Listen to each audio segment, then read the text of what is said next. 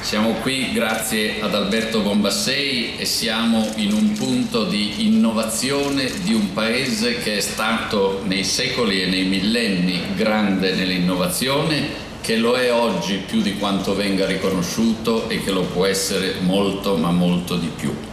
Nel novembre 2011 è stato ricordato da diversi oggi, era completamente differente la situazione bisognava mettere gli italiani di fronte a verità colpevolmente negate fino al giorno prima.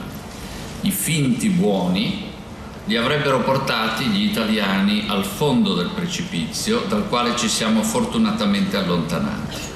Oggi possiamo guardare alla crescita con maggiore ottimismo ed è possibile parlare senza alcuna incoerenza di una graduale riduzione delle tasse con senso di responsabilità, senza esagerare in promesse che non si possono mantenere. Qualcuno è stizzito. Qualcuno è stizzito in queste settimane nel dibattito politico perché io parlo della possibilità misurata graduale della riduzione delle tasse.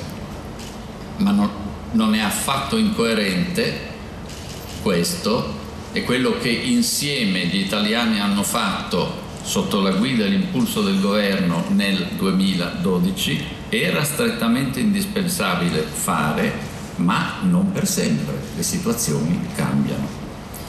Ci sono costi e mancanze di efficienza da parte degli apparati pubblici che abbiamo appena cominciato a intaccare, ma anche lì ho visto nella mappa del Parlamento dove si annidano le resistenze di partiti in collegamento con strutture degli apparati pubblici che rendono difficilissimo fare altra strada. Il governo ha proposto cose in materia di province, in materia di controllo sulle spese delle regioni, eccetera, eh, restando abbastanza con un pugno di mosche quanto a realizzazioni finali in termini di decisioni parlamentari rispetto a quello che il governo aveva proposto.